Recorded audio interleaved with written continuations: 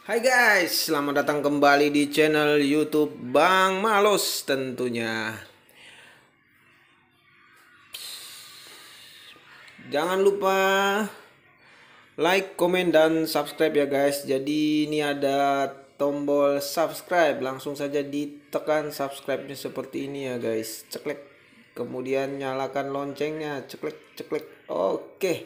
Jadi kali ini pada video kali ini Bang Malos mau ngasih tutorial yang cukup simple dan gampang.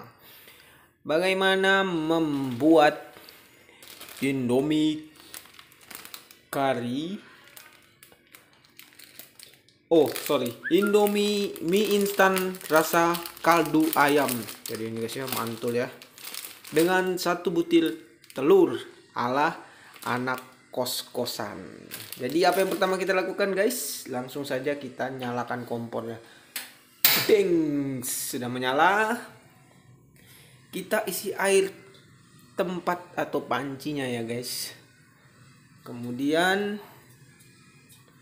langsung saja kita taruh di atas kompor gasnya ya guys. Jangan jangan perhatikan pancinya ya guys ini pancinya udah ala kadarnya anak kos namanya anak kos ya kalau mau yang bagus rumahnya orang sugih bukan anak kos guys. Kemudian kita kasih agak deras apinya ya guys. Kita tunggu sampai dia mendidih oke? Okay? jadi saya skip dulu ya nanti mendidihnya baru kita gaskan. Jadi nanti agak dia mau mendidih baru kita cemplungkan telur ayamnya ya guys. Jadi ada juga sebagian orang yang langsung menyemplungkan telur ayamnya. Tapi kalau saya nanti saya cemplungkan telur ayamnya ketika airnya sudah mulai mendidih ya guys. Mulai mulai dia menggurak-gurak-gurak-gurak begitu baru kita cemplungkan Sekali lagi guys ya info penting ini info yang sangat penting untuk kita semua pemirsa di rumah sebagai penonton setia channel Bang Malos. Jangan lupa guys ya seperti yang saya tadi bilang di subscribe aja di subscribe ya guys. Jadi kalau dia masih tanda merah itu berarti anda belum subscribe guys. Jadi tolong langsung saja di subscribe ceklek ceklek nyalakan loncengnya guys agar kita selalu dapat terhubung dan channel saya semakin berkembang ya ini sudah mulai mendidih ya guys. Jadi nggak mohon maaf aja ini karena ini kompornya pria jadi agak kotor guys. Dan pancinya aja udah udah agak ya kurang modal lah istilahnya orang bilang guys. Tapi nggak apa-apa itu tetap bisa berfungsi dengan baik. Jadi kita lihat sendiri guys ya. Airnya mulai mendidih kemudian kita jebloskan saja telurnya guys jadi cara menjebloskannya itu bisa pakai sendok begini ya guys. Atau dicatok di sininya juga boleh. Tapi saya lebih suka pakai sendok.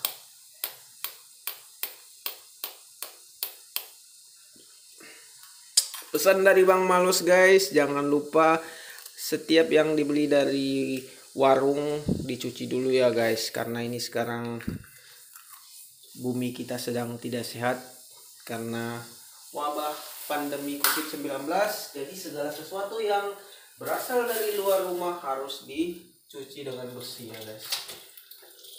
Oke kita biarkan seperti itu ya guys. Oke sudah terlihat. Kemudian kita langsung masukkan minyak saja ya guys kalau dia sudah mendidih. Jadi ini waktu real ya guys waktu real. Saya tidak jadi skip tadi. Jadi waktu real. Berapa lama memasak indomie kari kaldu ayam jadi kita langsung uh, turunkan saja minyak ya guys karena saya lihat telurnya itu udah udah mulai mengeras jadi kita turunkan minyak guys. Ini airnya kebanyakan ya guys tapi nanti kita akan takar sesuai dengan dengan sesuai dengan mangkoknya guys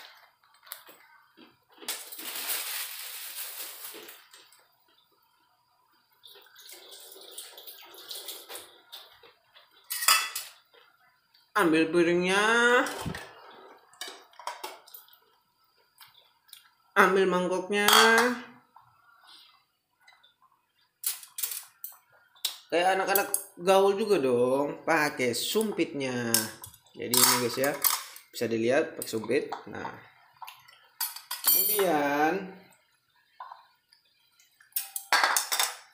Kalau saya itu guys, saya nggak akan campur bumbunya ini ke dalam sini ya guys, tapi saya menaruh bumbunya di mangkoknya supaya ketika kita menaruh air kita bisa mengukur dengan rasa yang pas ya guys. Jadi nggak nggak terlalu banyak air, kita kurangin sedikit karena sudah menggurak. Jadi saya bumbunya saya taruh di mangkok ya guys. Jadi nanti biar bumbunya mengikuti dengan telur dan apa semua itu ya terserah lah kemudian kita balik mie ya guys. Jangan terlalu lembek karena mie Indonesia berbeda dengan mie Korea ya guys atau mie mie ala negara lain. Karena kalau mie Indonesia kita semakin lama kita rebus semakin kental atau semakin melembung dan dia tidak bisa dimakan rasanya aneh. Jadi bikin mie itu dia mateng tapi jangan sampai kematangan oke? okay? Kita lihat telur kita sudah sampai di mana guys. Telur ayamnya wow mantap. Uh, pinggir-pinggirnya ini ini bagian yang saya suka ini guys. Oke, hari ini kita membuat Indomie kari ayam ya. Ini jam setengah 12 malam guys dan apanya ini jam setengah 12 malam pas lapar-laparnya enak ya Indomie ini guys. Apalagi cuacanya dingin. Di luar agak gerimis ya guys. Oke ini ini kita lihat sedikit lagi guys. Ini sudah sudah matang tapi sedikit lagi guys ya.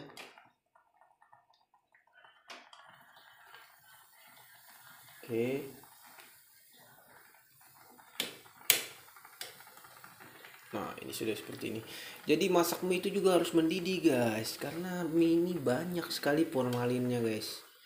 Apa bahan pengawetnya yang infonya kurang bagus lah apalah sorry bukan eh, bukan formalin mayat ya, tapi untuk makanan cuman dia eh pengawet makanannya kurang bagus katanya sih. Saya juga kurang tahu. Kemudian setelah itu apa yang terjadi guys? Kita langsung pindahkan saja ke mangkok yang sudah kita sediakan.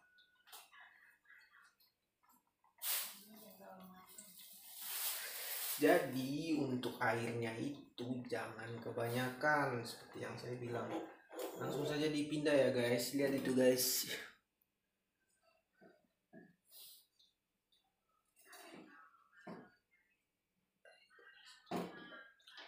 Tapi jangan lupa matikan kompor guys. Yang paling utama matikan kompor dulu ya guys. Oke oke oke oke oke. Kemudian airnya kita kurangin dulu guys. Airnya kita kurangin kita buangin. Supaya busa-busa mie yang bagian atas itu. Oke setelah itu kita tuangkan guys kita takar dulu airnya kemudian kita turunkan minyak guys. Jadi biar dia nggak kebanyakan dan bumbunya itu terasa jelas ya guys. Oke sambil kita ambil bekas-bekas telur tadi yang sudah kita masak ya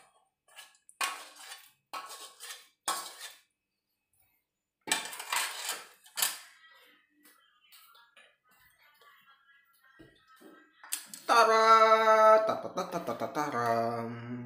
Sekali lagi guys, jangan lupa di subscribe subscribe dulu dong, tolong dong dibantu dibantu ya, di subscribe subscribe dulu Bang Malus. Jangan sampai salah ya guys, ketik saja di pencarian YouTube Bang Malus, oke? Oke, kemudian itu minyak udah jadi, kita aduk aduk aduk aduk aduk aduk aduk aduk aduk aduk. Harusnya pakai cabai guys, cuman saya nggak terlalu suka cabai ya.